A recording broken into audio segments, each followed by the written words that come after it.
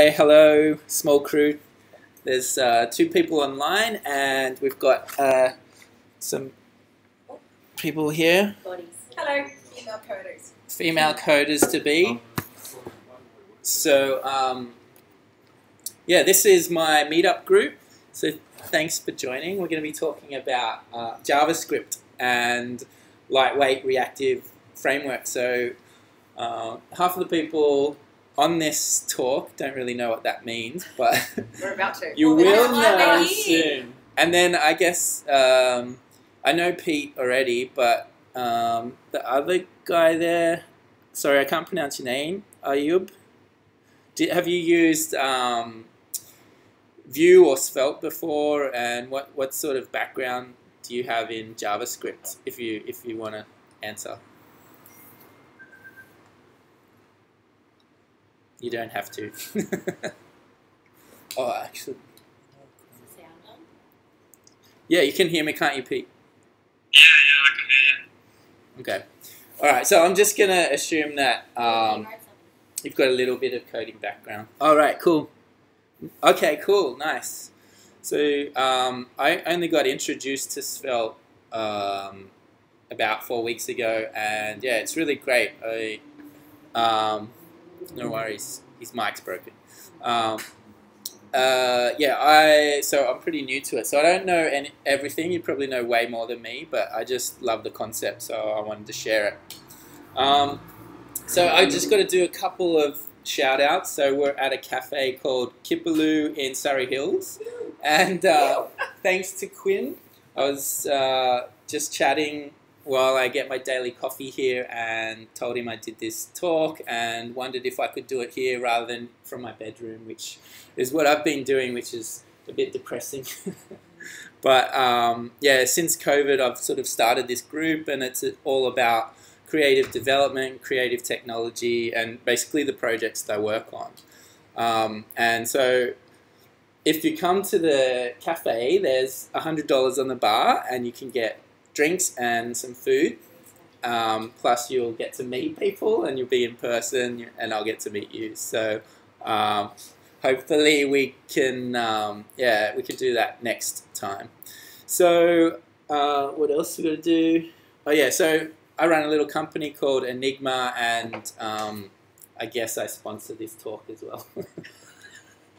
and uh, Hundred dollars on the so um, yeah, and I, and I um, I've been back in Australia for twelve no eighteen months now. I don't know how long has it been. 18 months. Eighteen months, and yeah, doing creative technology under this company called Enigma.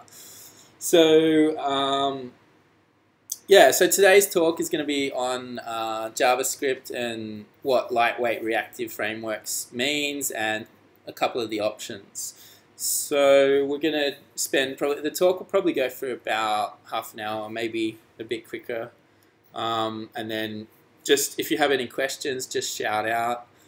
And it, it's going to be structured. There's a bit of history at the front, and then um, it gets into the nitty gritty and uh, has some demos and sort of breakdown and the pros and cons of each of the platforms, Vue and Svelte. So I'll start now. I'll have to go over here, don't I? So there's my contact details. Uh, I'll share this video and the slides after this on the meetup group. And um, if you're not already on the meetup group, it's just Creative Tech Now, and you can join there, and then that's how I'll share the slides and the videos and stuff like that. So, a brief history of the web. I'm sure you all know the web, but maybe you don't know where it came from or you know the background of it. So, um, it started in the 60s, which is ages ago, and it started with the ARPANET, which came out of like a military research and university research, and they were just trying to find a way of doing um, sort of uh, transfer of data and files and messaging. Um, and Tim uh, Berners Lee was the inventor of the World Wide Web. He created the coding in HTML. Um, he came up with uh, emails and uh, web browser, the first web browser, Netscape, uh, came off the back of that, and then in around 1995 we had JavaScript, which is you know was a pinnacle moment, and then that sort of allowed HTML, which was just basically text and images uh, with uh, links. So actually, yeah. So the concept of HTML was to be able to link these pages together, which was you know the beauty of it. You could have a dynamic page, non-linear. Um, you know, if you look at the history of media, you had like films and, and books and everything you know television and radio where it was linear there and it was continuous, but um, HTML was non-linear. So um, you know it opened a whole world of different uh, storytelling, I guess. Um, and so JavaScript added uh, different capabilities and, and functionality to that and made it um, more impressive so you could do more things. And then CSS came along, which is cascading style sheets and that allows you to style and design the way a page looks. Until then, the page just looked um, pretty ugly, and you couldn't do too much with it. Uh, so it allowed you to do like gradients and transparency and um, transitions and animation and stuff like that. So you could do animation as well with um, JavaScript. I've just got to admit someone to the group. One sec.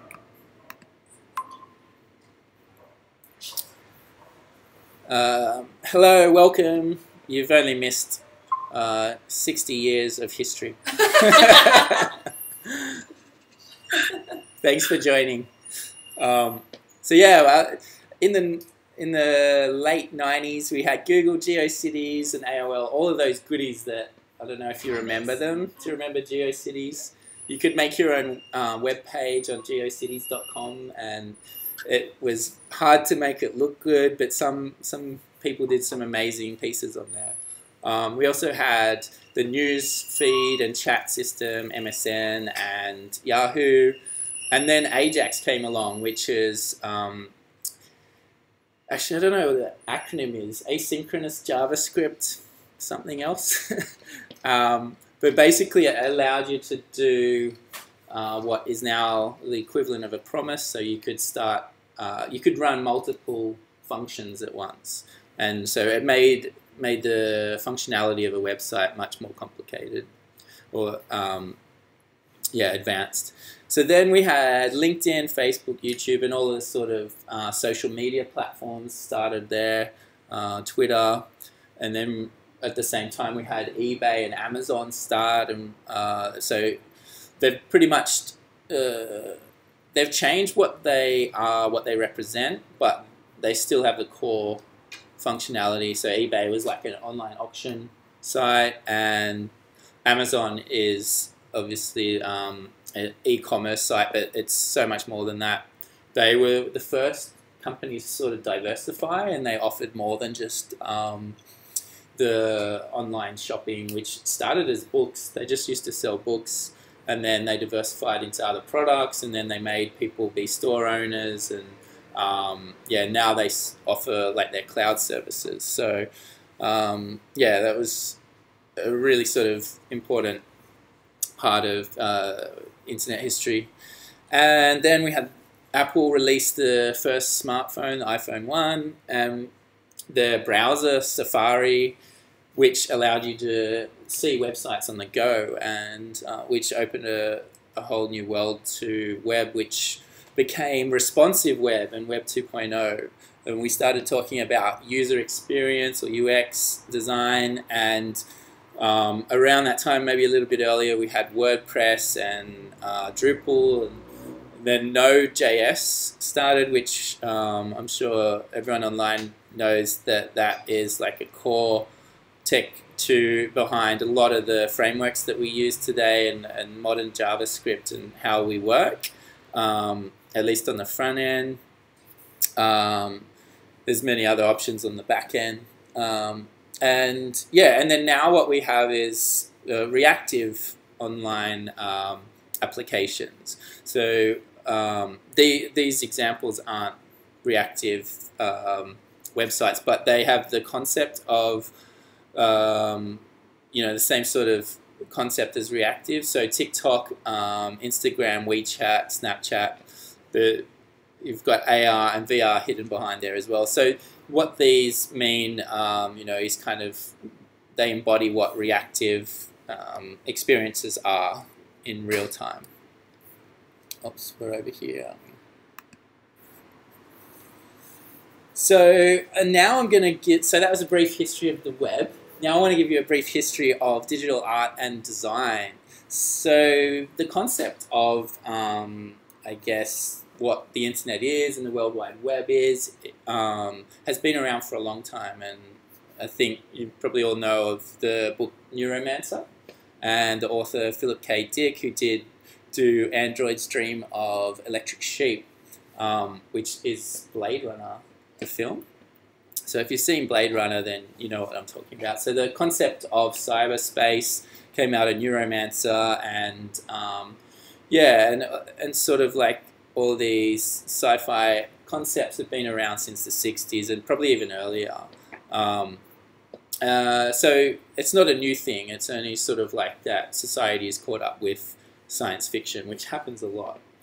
Um, so and then in terms of art, there were a lot of different artists exploring non-linear storytelling and media. So we have uh, John Cage, who's a experimental um, musician or sound artist. Um, I think he his most famous performance was he went up onto stage and he sat in front of the um, piano and didn't touch a key for an hour, and then he just left. So it was like complete the, first kind of performance and non-linear experience in terms of uh, sound art. And Yoko Ono has sort of similar sort of background exploring these unusual alternative concepts of storytelling. And Nam June Paik, who was one of the first artists to sort of play with magnets and television and electronics and uh, installations. So that was all through the 70s. In the 80s, video games sort of exploded and we had the Apple Mac. Both of those things enabled people to create their own stories and create their own sort of experiences. And video games, you could get lost in a non-linear experience and world. And um, the Mac, you could do painting, you could write a book, you could um, browse the internet at that point, could you? No. Not quite. Not yet. Um, and then in the 90s, we had the artists like Damien Hirst come onto the scene. Um, Flash actually started in the 90s, um, which I know Pete and I have a big background in. And um, yeah, then we had indie indie games starting because of that, and also the Unreal Engine started. So we had artists using Unreal uh, to create experiences. We had .NET, uh, sorry, net.art happened in 2000s, which is still an email list you can subscribe to, and it's um, just conversations from artists about various different topics. Um, oh no, the TV's going to go off. Um, with the remote. Or you can put the volume. it's in here. Hold that thought. Yay! Um, that's why I turned off the energy saver. Sorry. Um, so, and then we had Michael Snow, who is a Canadian artist who does these. Uh, he used to do CD-ROMs, and you buy the CD-ROM, and it's a really cool sort of art piece that he creates and uh, produces himself. Uh, similar to David Lynch, uh, Michael Snow and David Lynch have similar sort of approach to their art. They do. Um, they're called auteurs. They do everything from the ideas through to writing it, to starring in it, publishing it, um, creating it, like everything, promoting it. Um, so, and then I kind of uh, idolize them, and I do. I try and do the same sort of thing. I try and be across every part of a project, at least in my own personal projects. Um, I want to do the sound, I want to do the video, I want to do the animation, um, unless it's a big project, and then I get other people to help. um, and then at the same time in 2000, we had Matrix. Um, 2005, Google Maps happened, Unity, the game engine appeared, which were both uh, very sort of uh, pinnacle moments again. Then in 2009, we had uh, Daito Manabe, who I just want to show you his work. It's quite. I'll go click here, don't I? I don't know if you guys can see it. Pete, can you see that? Oh, okay. All right. Um, search that guy because he's actually. I'll just share the link in the. How do I do that? Yeah, I'll share it in the chat because he is uh, interesting.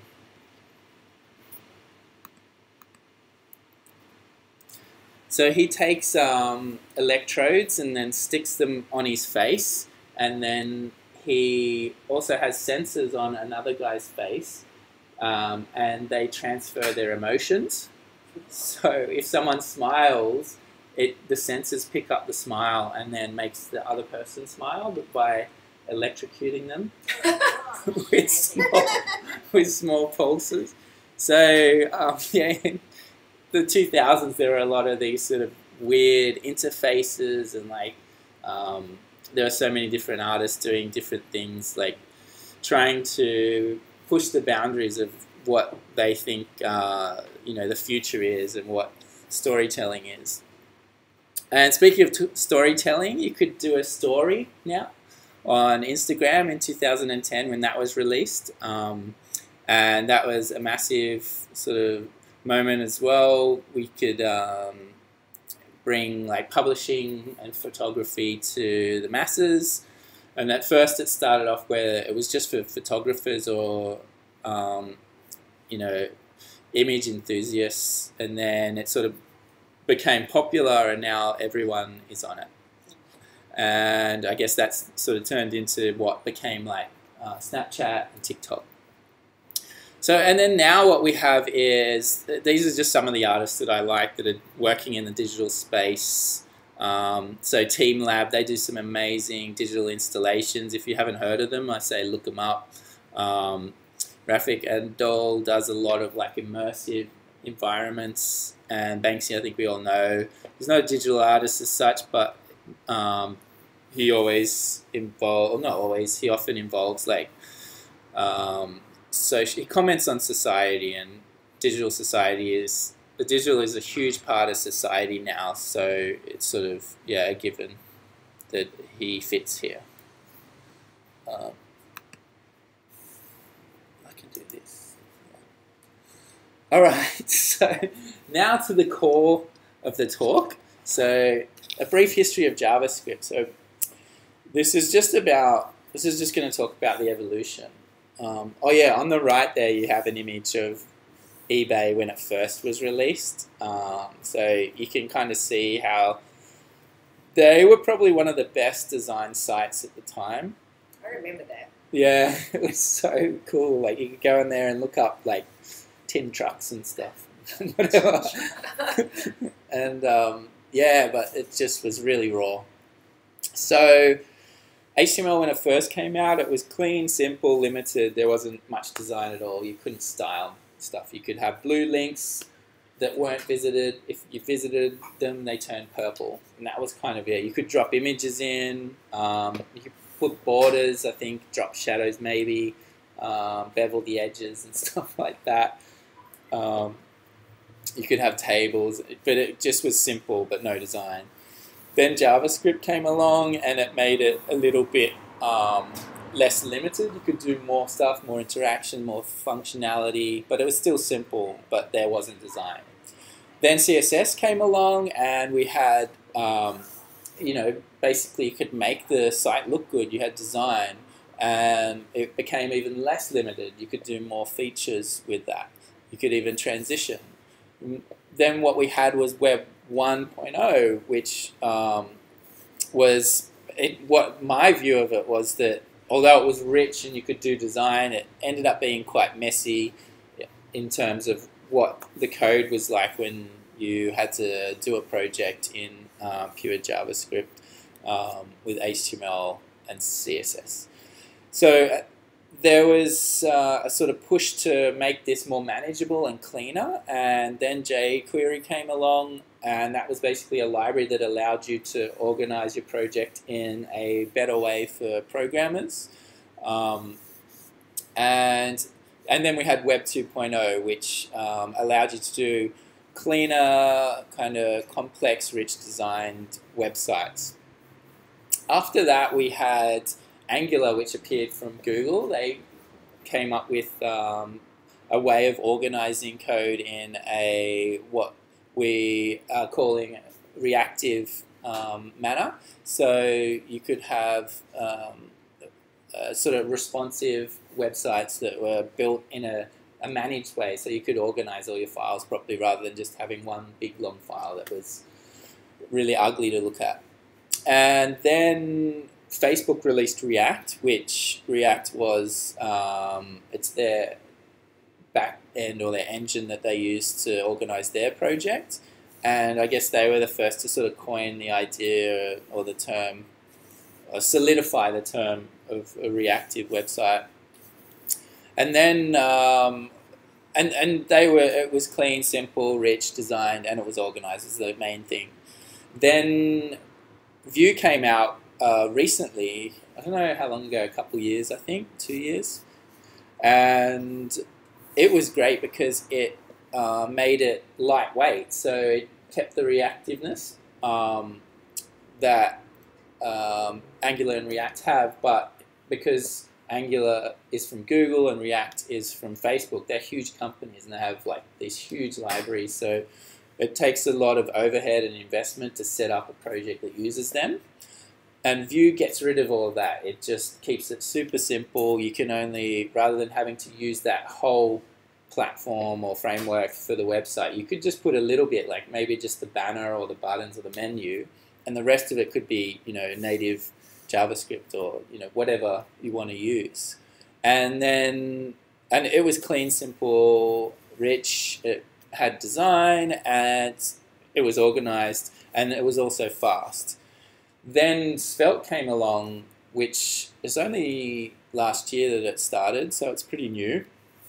And what it does is everything that Vue does, except it does it faster because it um, just because of the technology it uses. It's not a compile. It's compiled at build time rather than runtime.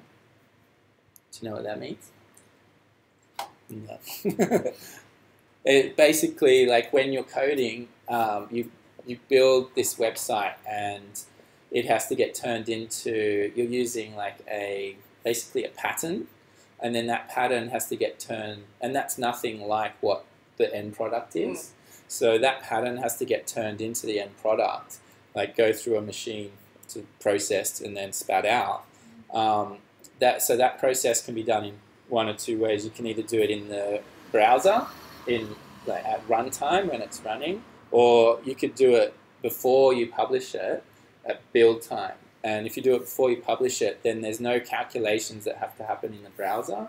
It happens like um, it yeah, it happens instantly. It runs. Uh, the calculations happen when you're building it on your computer before you publish it, rather than happening in uh, the browser. So that's what makes it Svelte fast. Vue is faster than some of these, but it's not as fast as Svelte.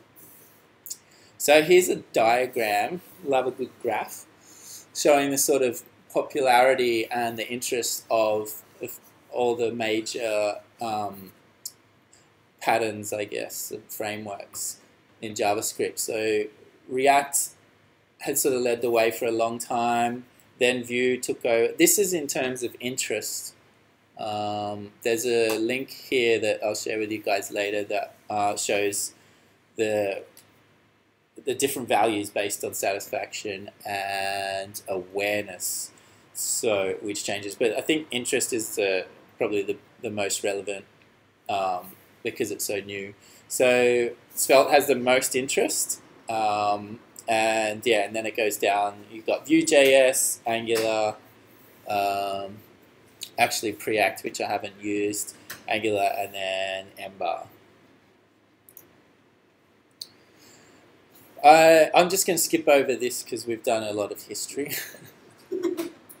if you're interested, there's a slide about the history of web development, which goes into detail behind the technologies used.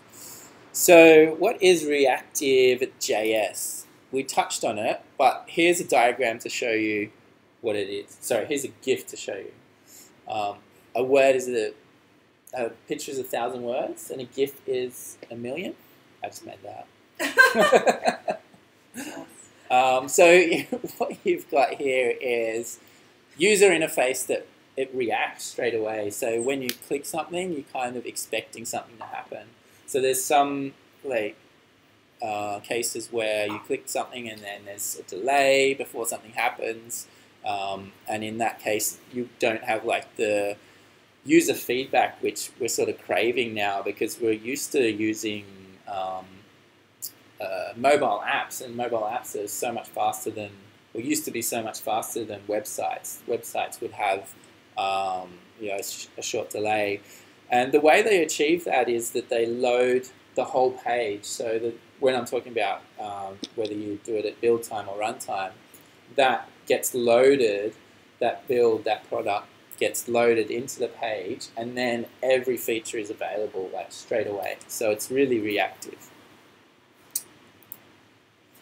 Um, so the, the features of reactive JavaScript is you have a reactive user interface, which we just sort of saw. Um, and we have instant actions performance like a mobile app. And there was a definite need for parts of the page to update with that whole page reloading, which was an issue. And Ajax sort of started this and allowed you to do more than one um, function at the same time and then some other bits of technology which sort of led to where we are today, and being handlebars and moustache, which is some uh, technology or a pattern that allows you to inject values into a page, and Node, which we mentioned before, is sort of pinnacle to all of these technologies here. Uh, Grunt, Gulp, Webpack, Parcel, and Rollup. And they're all ways of um, uh, automating the build process. So Vue.js, how long have we been going? 30 minutes, okay. So Vue.js is an open source MVVM, so model view, view model pattern. Um, it's component based, reactive, and it's a library. So it's not a framework, rather than like Angular and React are frameworks. Um, Java, uh, sorry, Vue.js is a library or pattern. Uh, so it's kind of like a recommended approach. You don't have, it's not as rigid as a framework. If you get a framework, like imagine a house, you put up the framework, the walls have to go where the framework is. Whereas a pattern is more like a suggestion, like a blueprint to how you should build it. And, you know, you could kind of move that around a bit and modify it. Um, it's single page applications. And why Vue? So this is a good question. You kind of have to, when you're, um, you have to answer this when you're deciding on technology. And one of the main reasons that you use Vue is because it's lightweight. And so today's talk is all about lightweight reactive frameworks. And uh, the main difference between the lightweight and sort of heavyweight is whether um, you can, uh, I guess it's the investment and the overhead involved in setting up a project and building it.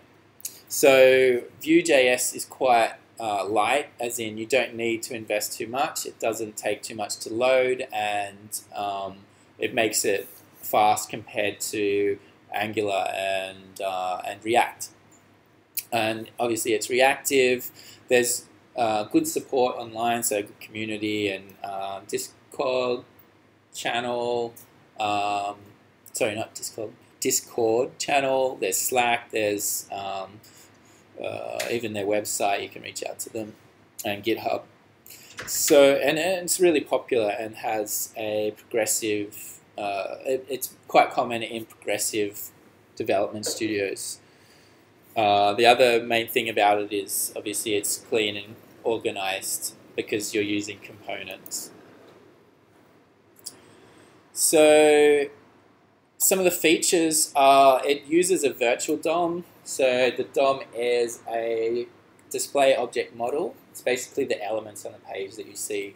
And virtual means that um, it's not using the actual display elements, it's creating its own version which updates the actual ones. So that's why there's a little bit of a delay, but uh, it's a great concept because um, it allows you, allows them to build the whole site before uh, displaying it. So they choose what to show and what not to show. Um, it has data binding components. Um, it's got event handling. All of these features are quite important. I think the um, main difference between this and Angular and React is, uh, yeah, mainly the lightweight and the virtual DOM yeah, that's the main difference. The Vue CLI is quite powerful as well. Um,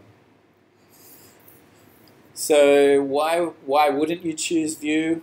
Um, you the main reason people don't choose it is because they already have a project that's built in Angular and React, and um, you may not want to choose it if you have to do a lot of animation because the animation can slow down the project. Um, they have built-in transitions and stuff, uh, and you can use JavaScript and CSS transitions to do a lot of animation, but that all adds to the performance and can slow down the site.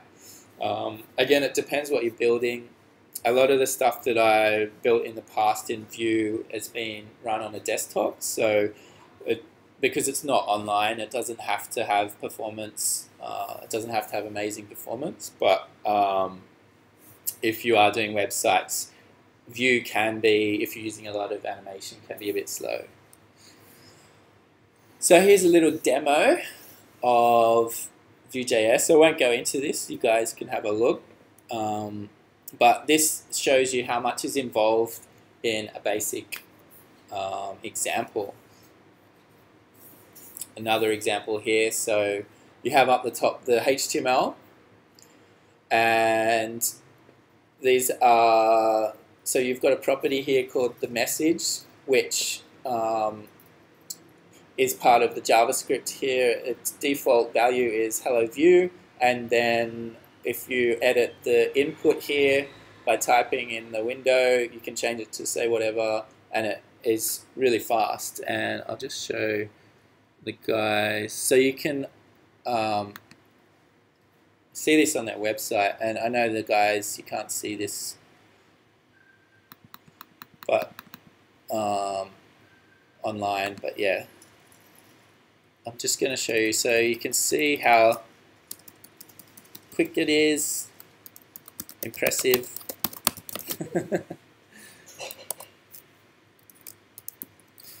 I'm just showing them. Hi team. Hi team. Uh, okay, cool. I'll jump back on. So remember how fast that was? Yes. We're going to see in a minute how, how Svelte compares to that.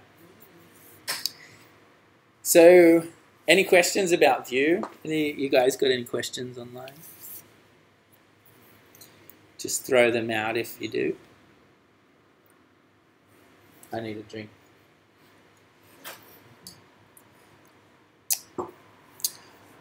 Okay, so Svelte. Um, I think Svelte is amazing. It's really interesting, the approach that they've done. I mean, it's not a new approach, but um, it's good because they've solved a problem that is pretty common with a lot of developers and I think creative developers because we use a lot of animation which slows down your page a lot, transitions and whatnot. So Svelte is um, it's very similar to Vue, but it's the the developer of Svelte is calling um, Svelte a language rather than a pattern. Oh, sorry, rather than a framework. Um, so it's it's basically a bunch of syntax that you use to create your website. So you you you write this site in a particular way. You write you use JavaScript and HTML in their own format, in their own syntax, and you create uh, object-oriented components using their specific design pattern. Um, and so it's fast, it's light, it's highly optimized, and it's efficient. And that's because it's a compiler, not a framework. So that, as I mentioned earlier, basically just means that it doesn't create extra code and junk that uh, bloats the site, it keeps it nice and light. It because um, Angular and React have like this huge um, library. Like if you're if you're using um, those two frameworks, you have to bundle the page with that library so it knows how to turn that language into that particular page and that build and build at runtime. So it has to have this thing to rely on, uh, this library to uh, to reference and then create the site. So you don't have to add extra code, no extra library. It doesn't transpile, uh, trans compile. It compiles at build time, not runtime. And basically your output is vanilla JavaScript. That's just plain boring old JavaScript. so Svelte features are, there's no virtual DOM, so unlike uh, Vue, there's no virtual DOM, it's the actual DOM. Uh, it's just straight JavaScript. You also have, you have two-way data binding. Um, you have components. Uh, the state management is, oh, that's spelled wrong. I don't know what amendment is, but I think I meant management. Easy state management. Uh, animations and transitions, yay. And it is truly reactive in terms of the properties and the values just sending around. Styles are scoped, which Vue does as well. Um, it's lightweight, it has a CLI, and the startup script is really simple. So why would you choose it? Um, because it's a lightweight option for building websites, but you can also make it a heavyweight um, option too. You can you can build it up. It won't have some of the advantages that Angular and um, React have because they're designed to be heavyweight options. Um, but yeah, so that's the sort of trade-off you you have there. Uh, it's reactive, well supported, constantly growing, and then it's popular again against like new studios. Um, it's good with animation, transitions, and performance. So why wouldn't you choose it? Again, you wouldn't choose it if you had like legacy code in other frameworks. Um, TypeScript isn't fully supported. Sorry, Pete. I know you're a TypeScript fan. we we're using TypeScript at the moment. We're having some issues with it. You can get around them. Um, there's just uh, yeah, just some small barriers there. It will still work, but you just have to work around them. Uh, Vue.js supports TypeScript, and uh, I think React and Angular does as well. And there's no routing included in by default. You just use the hash um, links um, so here's an example. See how much less code there is? Mm-hmm. nice and clean, yeah, very spelt. So, um, yeah, actually the word spelt, do you know what that means? Yeah, Slim and yeah. yeah, I didn't know until I got this. Uh, oh. Yeah, it's good. And so yeah, this is just a really simple demo anyway, so there's not much involved there. But all, all you have is um, JavaScript at the top, which is just defining a variable, um, actually an HTML string, and you can inject that using the at symbol in curly braces within um, your HTML, which is the bottom, and then your output is this. Um, and here's another example. So it's the same example that we had before or similar. You click on the button and then it updates straight away. And I can show the guys that.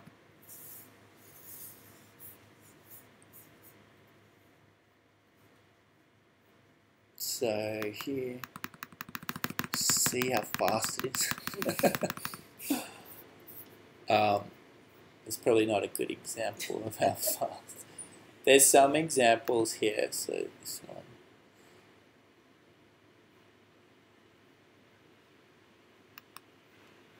Mm.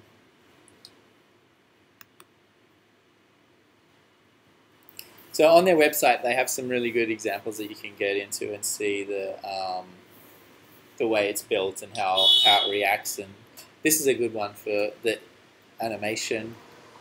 Shows you how smooth it is. And yeah. So that's a little example of a um, oh. So which one do you choose? Uh, in conclusion, I think it depends on the project. There's um, if you need it to be performant and you don't writing, you don't like writing lots of code, but are okay with a project that is quite new and there's a few nuances, then Svelte is an option. Um, the only reason I'd sort of choose Vue is if animation isn't really, uh, doesn't have a big um, impact on the site uh, because it all sort of it performs a little bit slower. Uh, both of them are light and easy and robust. So yeah, it just depends on the project. And I'm not saying that like the other ones like uh, Angular and React aren't options either. It just depends what project suits uh, sorry, what solutions suits what project. So I've got a bunch of links in here which I can share with you guys as well. But um, this one was really funny, the truth about Svelte, where the guy who developed it didn't realize what he was doing when he first started, and he's like, it's basically a confession about that. So it's pretty funny. Um, and then, yeah, it's just some other links in there as well. So, yeah, thanks. Thanks, Rhys. Yeah. Thanks. Thank you. Thanks, everyone online. Cheers. Thanks, Mikhail. How are you? Pretty good. Just uh, going through the project at the same time, to be honest. So, yeah. Yeah. Have you used Svelte before? Nah. But it looks pretty clean. Yeah, it's um there's I think their website is actually just all you need. They they've got everything that you need in there, and you just basically search it, and yeah, it's quite good. Um, I'm loving it. It's got some neat things in there, and uh, some of the other guys in our team are really good at it. Um, Jan, who's in Canada, he, he some of the stuff he does in there is pretty amazing, and he's been using it for a while, so that's really good. Um, Yeah, nice, if, nice. if you need to know anything, just reach out to him. Don't reach out to me because I don't know it well enough yet. Um, Yeah, carry on. I mean, y- yeah, I'll, yeah, I'll, I'll be, I'll be uh, probably trying things myself first, and uh, yeah, best screening best way to learn. Yeah, cool. What do you think, Pete? Are you in? Sorry, what was that? Uh, Pete, did you? Are you gonna try Svelte? Uh, looks interesting. Um, uh, yeah, I have to. I'll have to have a look at some more code examples. I mean, it looks it looks incredibly simple, like too simple. Yeah, Like I, I couldn't really. I yeah. couldn't follow it. uh, Like how, how does it do that? Yeah. It for me, like when I first started, I had the same issue. I'm like, but where is all the code? Like, what? Why? why is it so simple? And um, yeah, like even just importing things, all you have to do is like add the package and then just import it. There's you don't have to make sure it's in the right folder and all this sort of stuff. And yeah, it was it's just really easy to use. Um, but yeah, I might do a more detailed one where you get to see how a project's sort of set up because then that's kind of and like especially a sort of creative project because then you get a sense of what's involved in terms of um, yeah trying to get it to look good because obviously those examples are pretty not not very um, visual. And there's no sort of animation or anything. So all those points I was trying to make you couldn't really see them. Um, yeah. So that's cool. That probably won't be the next one but it might be soon. Alrighty. Uh, any other questions? Any questions from here the cafe? What about cost? Is there Oh, yeah. Difference? Whoa. Yeah, well, in uh, it is a good question. I think um, that Email it. Yeah, no, I think because the the main point that Svelte has is that um, you're writing less code, so less code means less time. But if you're no, it means cheaper because you're not working as much on it. So, but um, a lot of the people who are using other frameworks like Angular, React, they've been using it for years and they've got like a library of stuff they can use. Yeah. So, whereas this one you're starting from scratch. So, if you if you discount the fact that um, people might already have stuff that they can reuse, repurpose, then um, Svelte is quicker to develop as well. Um, yeah, there's just a lot of really nice, neat little shortcuts that they've kind of thought of that help you cut down on uh, the amount of code that you have to write. Um, but then, if you're sometimes when you're writing a project in a language that's not very common, then it becomes hard to find talent, and then the cost goes up. So because you kind of become a specialist, um, and then yeah, whereas if you do a really common language like React or Angular, then that's quite popular, and uh, you can really easily find someone cheap to work on it, depending on the skills. Yeah, good question. You can collect your drink now. Are we ready? What? No questions? I was going to ask the same thing. You beat me to it. All right. Yeah, I think it, it depends on the project. What do you prefer? Uh, for I, I wish I knew a little bit more about Svelte because I'm just learning it. Um, but I think if I knew as much about Svelte as I do about Vue, I'd probably choose Svelte because um, yeah, it's just faster. It's running Svelte. faster. It's just Svelty. I'm team It's Svelte all the way. It's Team slim. Svelte, yeah. The, but the only reason you wouldn't choose it, I think, uh, is if there's something particular in Vue that you like. Yeah. So there's some features that yeah that it doesn't have. Um, that if you need that, like routing, if you need routing, Vue is a bit better. Like you can that Svelte does have routing, but um, yeah, there's issues with it. It's not supported and And- TypeScript. Have you ever been in a situation where you just wish you could use both, or in like? You can actually. Oh, Ah. Yeah, that's the beauty of these ones. So if you're using React and Angular, you're kind of locked into them. They can't really talk to each other. But if you're using Svelte, you can, um, yeah, Borrow bits from. yeah, you can load both of them in. and do you think that's the future, where like all these languages can start talking to each other? Because before it Mm. was very separate because people tried to. Well, yeah, in the end, it is just JavaScript, so it can speak to each other. But I think, um, yeah, I'd have to look at that a bit more. But so on the um, Airbnb website, they just use they use like JavaScript and then they use Vue uh, for just like their calendar or something like that. And then so they only use it where they need to do some some kind of where they need that um, feature to support that. Yeah, so it, it's not always you don't have to build the whole site in Vue or Svelte. You can just do a little bit. Whereas if you do something in React or Angular, you have to build the whole site in that. Yeah. Hmm, good question.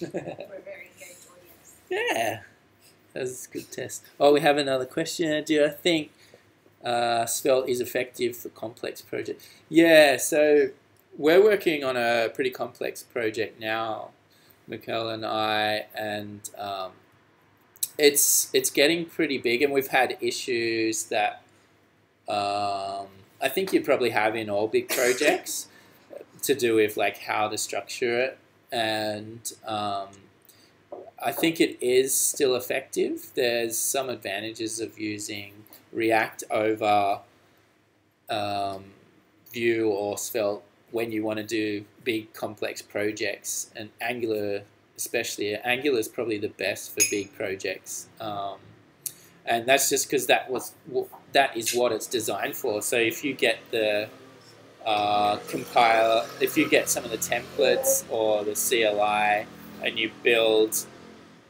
basically the default project is designed to be a robust, complex, massive website. Um, whereas Svelte is completely the opposite. It's meant to be a really light, lightweight project. Um, but that's not saying that you can't make complex projects, can't play, can't make heavyweight, um, complex projects with Svelte. Uh, it just takes a little bit more groundwork to do that. And there are a lot of templates out there and seed projects that you can use to to to do that. But um, yeah, it's it's not really designed for that straight away. Um, it just takes more work. Hope that answers the question. All right. So if no one has any more questions, I'm gonna close the talk. And thank you all for coming, and thanks Quinn again for the venue. Thanks, guys. Cool. Worries. I hope to see you guys next time. You can When's come the in. next talk? Next talk, the talk is every last Tuesday of the month. So I don't know when the next one is in terms of the date, but it's Tuesday Tuesday. In November. in November. No, September. No. October. October. In November. We're end of. Yeah. Yeah, Let's go back. So it's right.